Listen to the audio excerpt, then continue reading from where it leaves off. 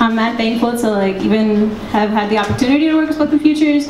Thank y'all for like accepting me into your family for a little bit. Um, y'all have been a mad blessing, so um, yeah. And this poem I actually wrote in February, so- and I'm trying to retire retire after this. I'm nervous. um, but yeah, I guess it's modeled after Sandra Cisneros says you bring out the Mexican in me. Um, mine titled You Bring Out the Chingona in Me. You bring out the chingona in me, the fuck your white privilege in me, the oops, I actually didn't mean to hold the door open for you in me, the puta in the sheets, the violent in me, you bring out the confident in me, the powerful, empowered in me, the unapologetically brown, proud, and loud woman whose revolution lies in the act of existing in me.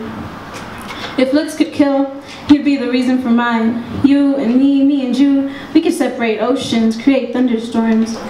You bring out the skank in me, both dance and person. The right arm, left foot, kick up in me. The fuck me like you hate me, but love me even harder in me. The cumbia in me, the romantica in me.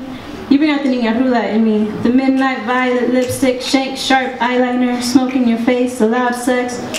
You bring out the colonizer's tongue in me, the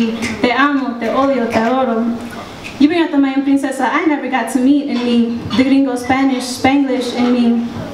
For you, I'd have the five plus babies and teach them all about la raza, la resistencia, la revolución. You bring out the Sunday morning chilaquiles in me, the salsa más picante in me, the váyase la verga, señor Trump, the violent silence in me, the journey toward decolonization in me. You bring out everything I love about you in me, the self-love, fuck your beauty standards, radical rebellious belleza in me. Let me share the me that I hate and love with you, only para ti. Thank you.